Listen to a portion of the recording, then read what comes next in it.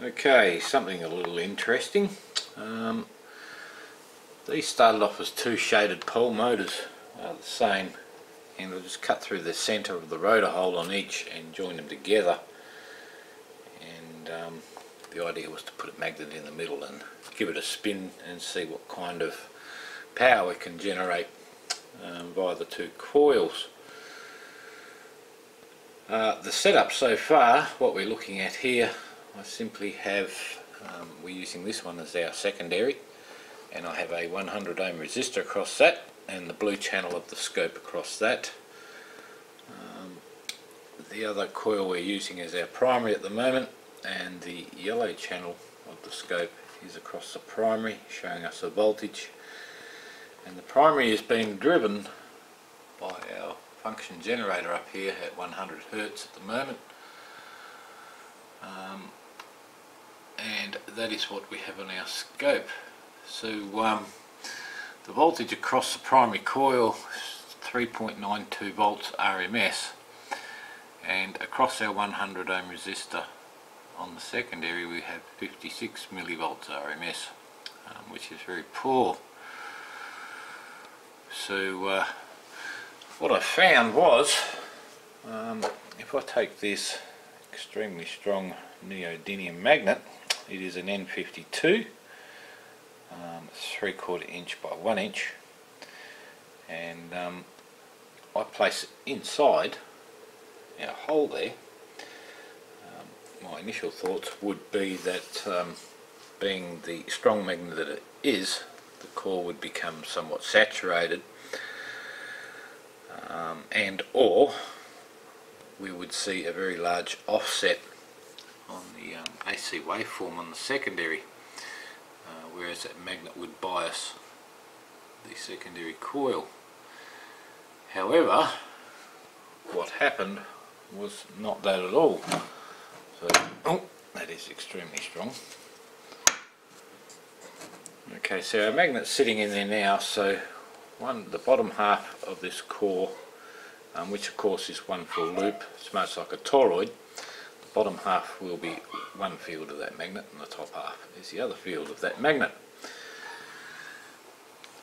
What we see happen here now, of course our input, input voltage hasn't changed, but um, the output across our 100 ohm resistor has now gone up to 368 millivolts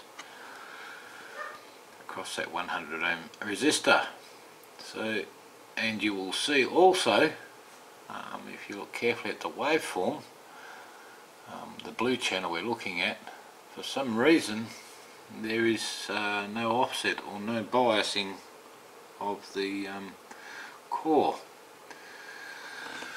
So even though we have an alternating field here um, across our core from the primary because it's getting fed with an AC current um, and our magnetic field that is being supplied to the core by our permanent magnet is fixed. We do not get uh, the biasing effect you would expect to see. And um, instead of actually killing the um, current being produced by the secondary across that 100 ohm resistor it has amplified it by um, what was it? About six times so um, very interesting effect.